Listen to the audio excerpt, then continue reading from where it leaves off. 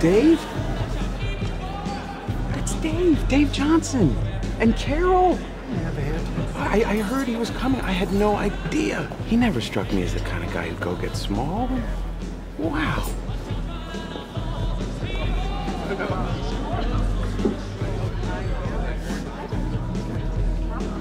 Okay.